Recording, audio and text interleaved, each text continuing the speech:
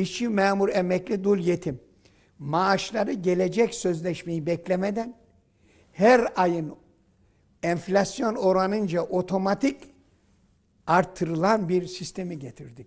Her ay maaş artacak. İki sendika yanımızda oldu. Memur Senli Akış. Hepsi ayaklandılar. İhale mafyası karşımıza geçti. Neden? Canlı yayın ihaleyi Refah Yol getirdi Erbakan Hoca. TRT'yi seyrederken ihaleyi seyrediyorsunuz. O ihalelerden birinde Cavit Çağlar Eti Bankı 180 milyon dolar aldı. Canlı yayın ya artırıldı. Hükümet yıkıldı kardeşim.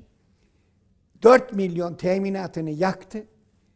Aldığı bankayı devlete geri verdi. Yalan olmasın ya 80 milyona ya 90'a. Aynı banka geri alınıyor. İhale mafi.